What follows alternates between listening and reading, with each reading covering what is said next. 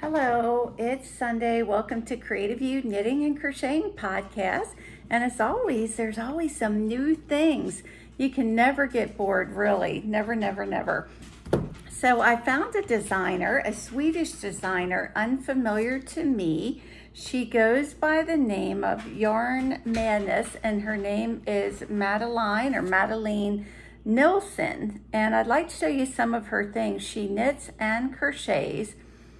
This is called Gard, G-A-R-D. It's baby bib, and in Swedish, Gard is the pronunciation for protection. And you know when babies get to that phase where they just drool? And I mean, imagine going around with a wet, soppy top and all that. So I didn't get my ends worked in, but mine doesn't somehow look as cute as hers. You know, if you go to Ravelry Crochet and you just type in motif or you can buy books, I might do like a little green heart or a little green frog, or I might even outline it in like a lime green or a blue because I think it would be cute. Hers, she has done that. She's outlined them in another color. I think it makes a great baby gift. And if it's a cotton, doesn't matter if the baby chews on it. Um, so here are some ones that other people have made. That's just a plain pink and some plain colors. There they did like the multicolors and That looks like maybe a sugar and cream yarn. So it calls for a sport weight yarn, which sport weight yarn would be lighter. I think I can get two bibs out of this. I didn't even get to the like the black color yet. And then I found the cutest button that is just perfect for this little puppy dog. That I think is gonna be really cute. Or you can go for a button that's a completely opposite color, like a lime green or something that really stands out. So I hope to make more of these. That is actually a free pattern, and that's my dog, Hartley. And both of our dogs have these coughing fits. So um, this is another one of her crochet patterns that I thought was really cute. And it can be like a little boy or girl's vest, or it can be a little um, dress. And now why I can't, here we go, pull that up.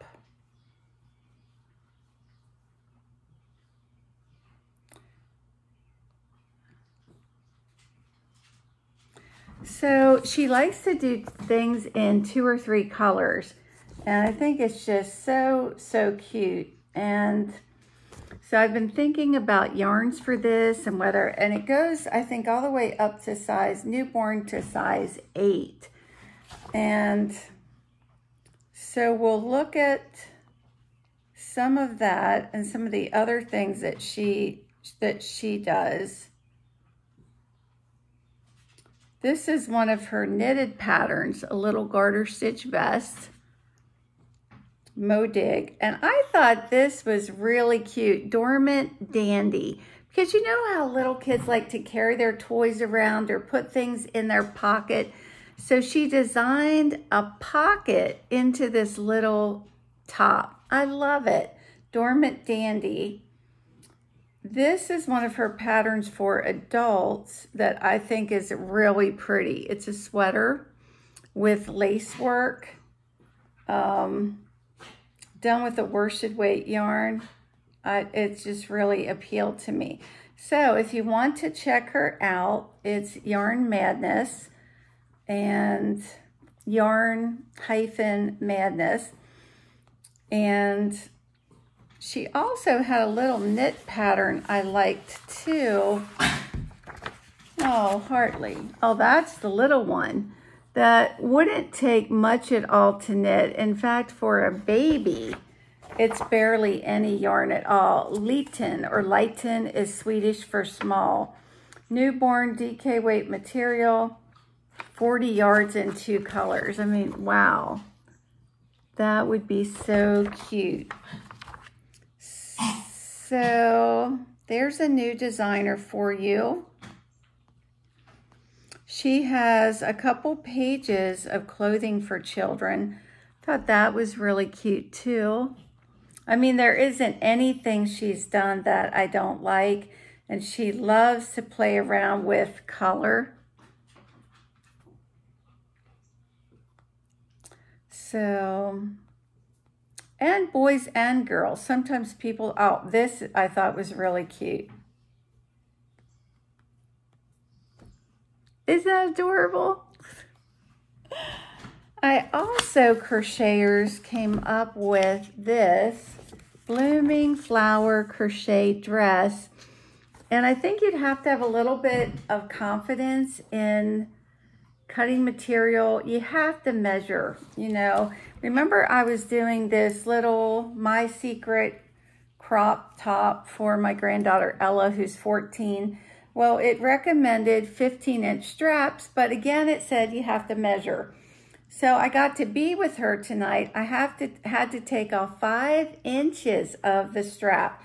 Now again, I realize this yarn has a little spandex, but if I would have given that to her, she would have given it right back and I would have had to rip out seams and so forth. One point that a magazine or it was a book on knitting made is you really shouldn't do your seams with the yarn.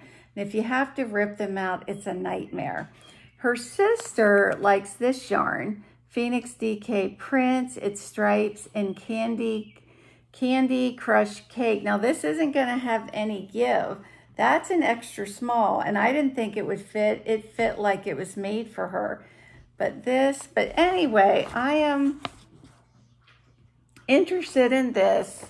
Um, there's a lot of cute dresses made. You have to be able to measure and sew, but there it is. And other things on my radar.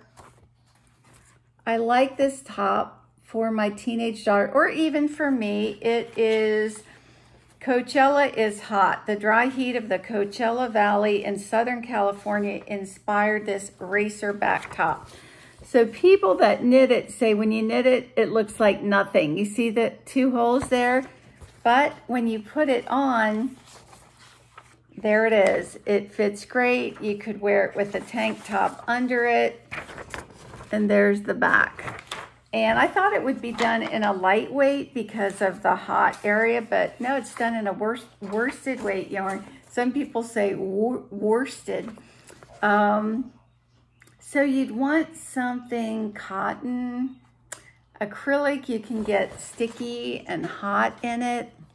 So I've been going through yarn and so I have some things pulled out for fingering weight. This is a yummy, yummy fingering weight. It's Pima cotton and linen just $9 for 464 yards. Could basically make a top. And the lighter weight yarns, the more yardage you get and the better of a deal.